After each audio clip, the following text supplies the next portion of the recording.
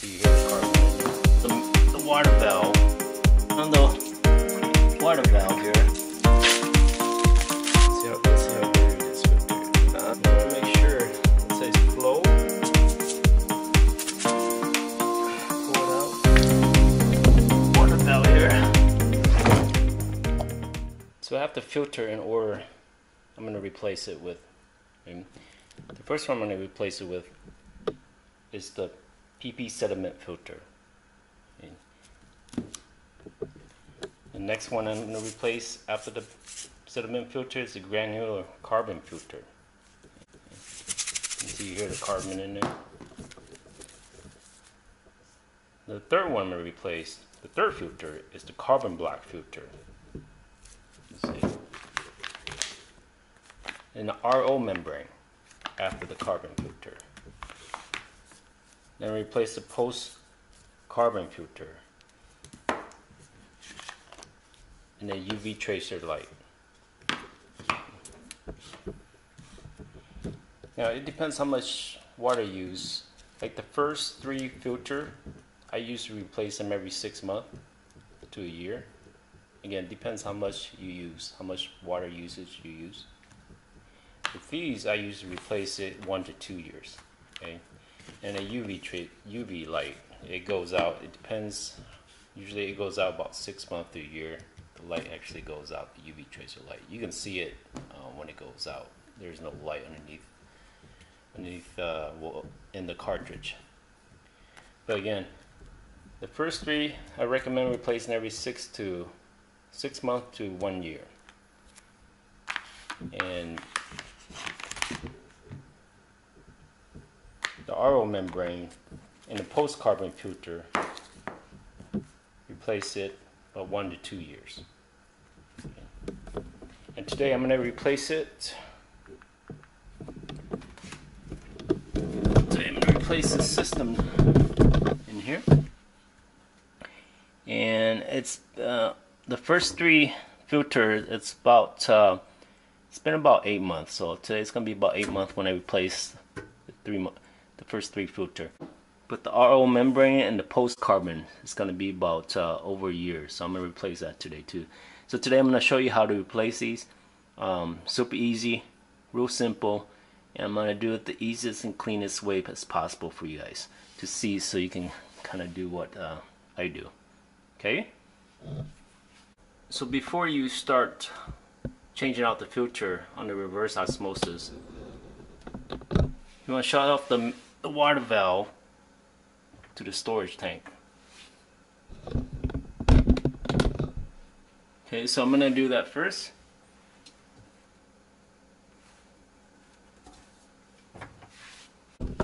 So after you turn off the, the water tank valve, you want to make sure you turn off all the water line, okay? The water line to the uh, reverse osmosis system because you don't you don't turn off again. The pressure the water pressure is going to make it very hard to take these uh, first three filters out. It's going to be very hard to take it out. A lot of pressure. So make sure you turn off the water valve to the tank. So the next thing you want to do is turn on a faucet to release all the water release the pressure from the reverse osmosis system and this is what this is gonna do is gonna make it a lot easier to open the filters with the wrench. There won't be so much pressure. So I'm gonna go ahead and change the the sediment filter first. Okay.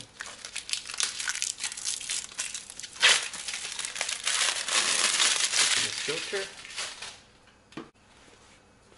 Stick this wrench here. Um, all the reverse osmosis comes with a uh, wrench here. So you stick under here, okay.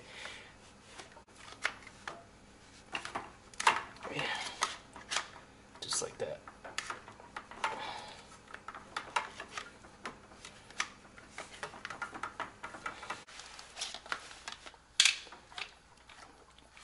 Once you get loose, then you can hand twist it here. Already loosen it up a little bit here. Oh. See all that water Let's see how let's see how dirty this filter. Ah, uh, it's actually not too bad. It's not too bad. I've seen dirtier, but this one's not too bad. You see all that stuff in it.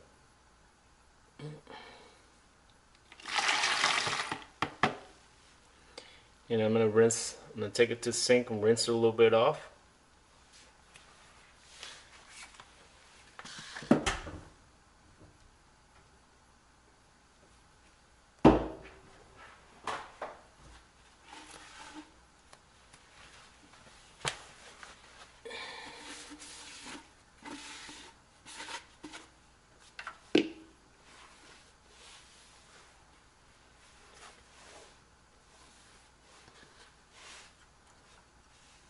Okay, and this is the new sediment. Super white, super clean.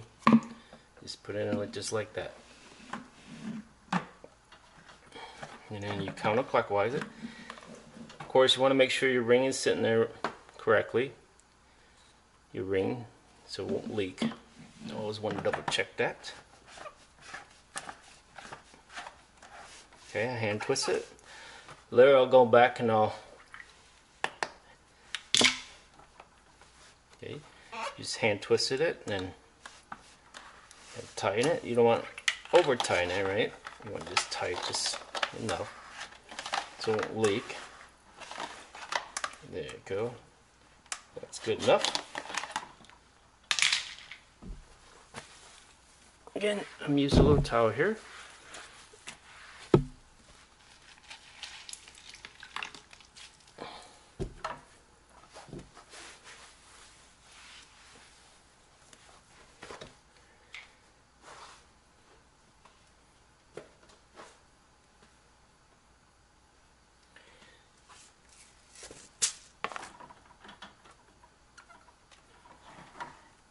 Next one we're going to change out this granular carbon is this one. Put the wrench underneath here.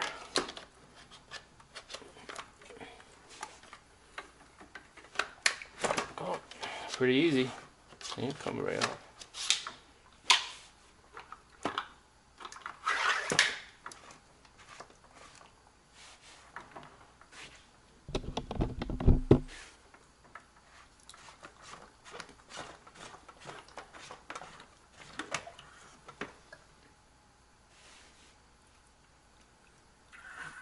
See how bad this is.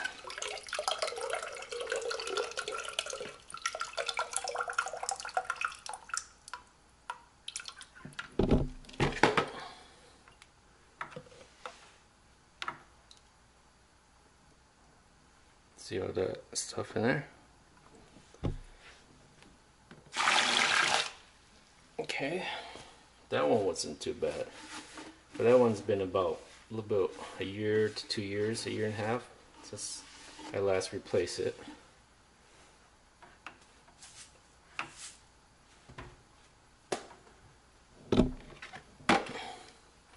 And this one you gotta make sure make sure that the top you see the one the filter is in the bottom the one with the valves and you want this to be on top.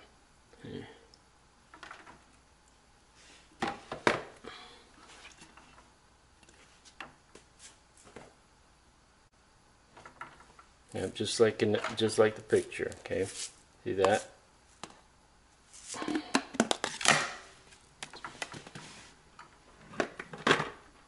Again, tighten up my hand.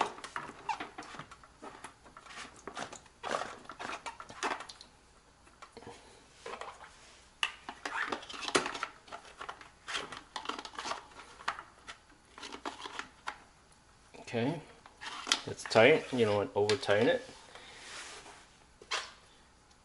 And the last one I'm going to replace is the carbon block filter.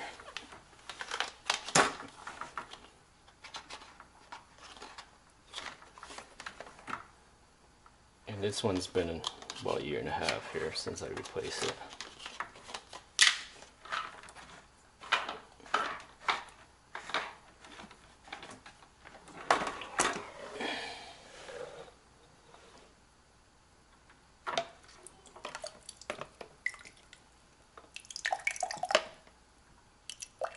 This one's not too bad.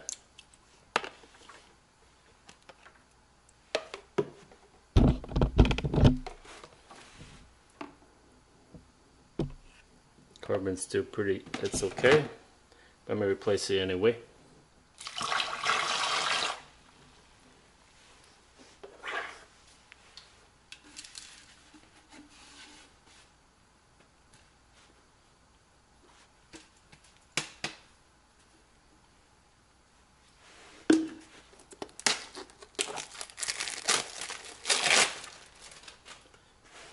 Before you put back on, make sure the seal's good, sitting there right.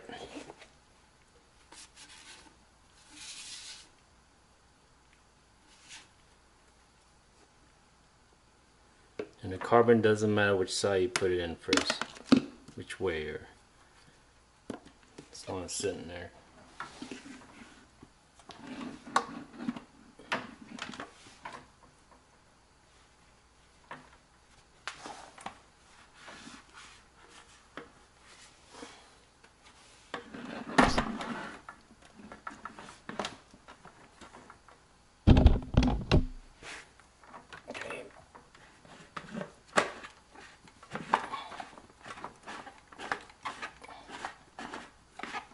Okay. Counterclockwise again to tighten it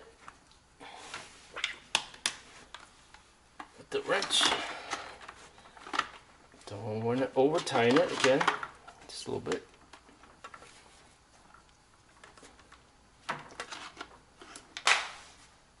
Okay.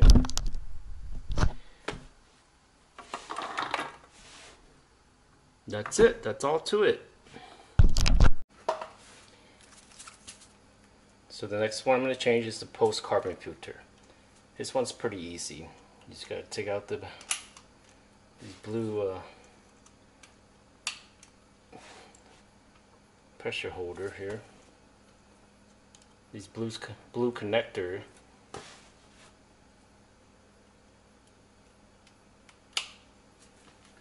So the next one I'm going to do is the post carbon filter.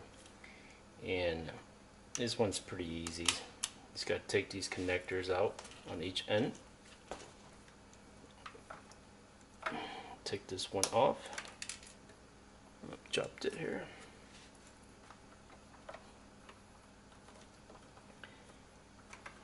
Take on the other end. And it's gonna leak here. You lift it up. Okay. Press it in. Oh.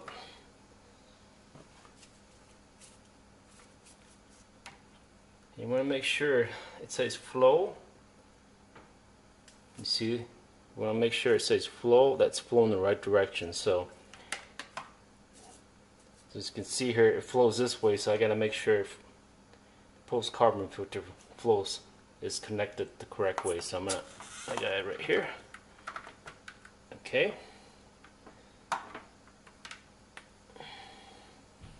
Flowing that way. So this one says flow that way. So I, I do got it right. But that's very important. You want to make sure it's flowing correctly.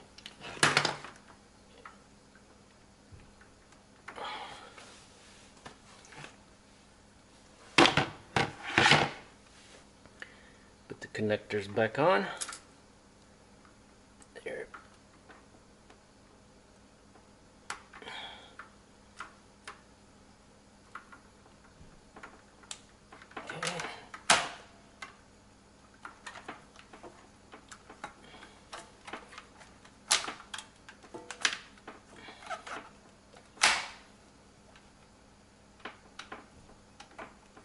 Okay. Okay, to that one.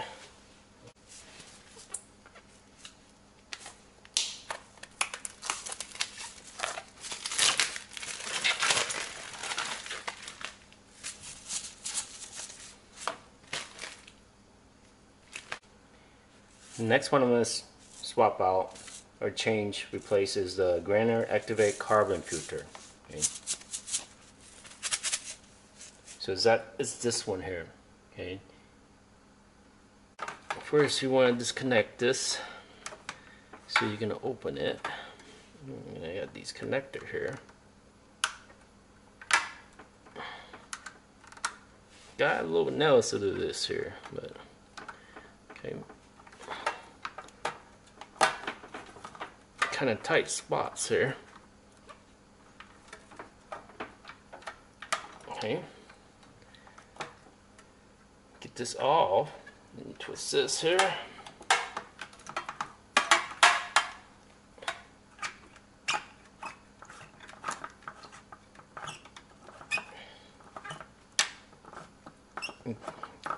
counterclockwise opens it. Oh.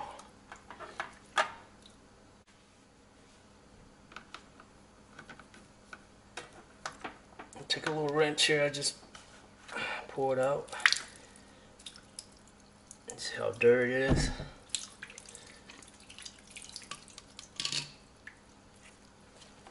Put in the bucket here.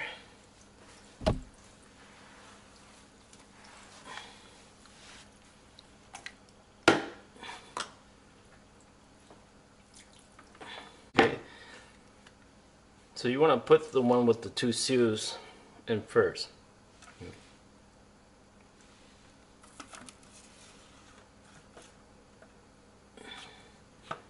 Push it in here now. You feel it, you feel it here. There you go. Okay. Take a little rag here, wipe it up a little bit.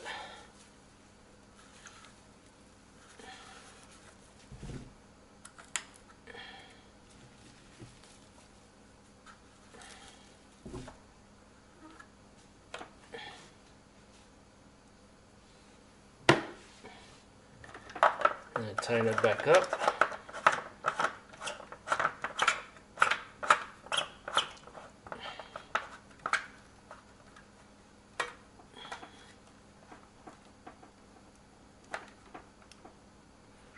You want to tie it tight, just tight enough, not over tight it, but tight enough where, of course, where it doesn't leak, but you don't want to over tie it too.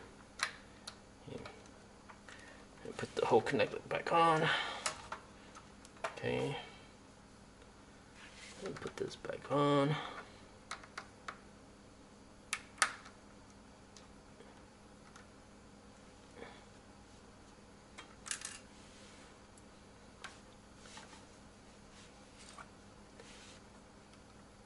This connector.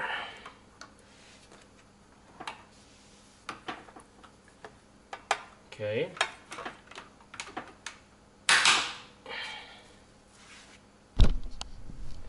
It to that one that's all.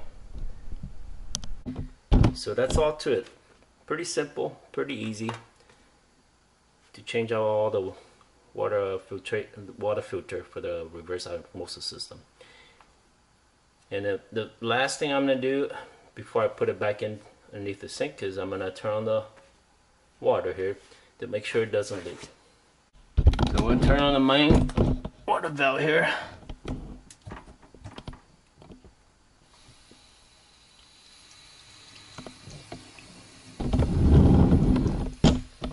hear the water going through.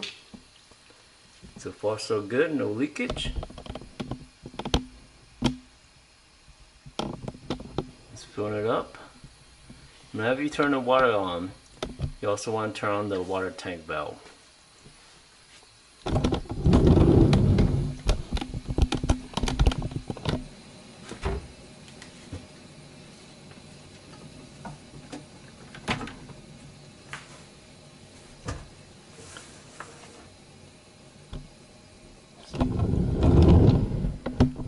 Okay, so I got the the cold water line turned on and the water tank valve turned on.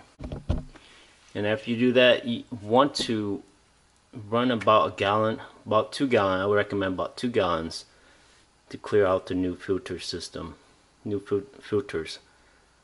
So once you turn off the valve, you hear it's it's good, it's not leaking. You want to run about two two to three gallons of water through before using it. But yeah, that's all to it. And then I, I recommend just run it uh, a couple times. You want to look for next couple days, make sure it's not leaking, double check it. Um, usually you, you will know if it leaks. You can you can also buy like a sensor that um, you put down there. If it leaks, it, it notify you. It beeps. Um, I have a link down there if you wanna purchase that. But um, I usually just check it every uh, every twice a day. Make sure there's not leaking. Um, but uh, yeah, that's all to it. Pretty simple, easy, and then now you can enjoy your uh, clean water, drinking water. Um, and uh, I tell you what, taste it does taste a lot different than having city water.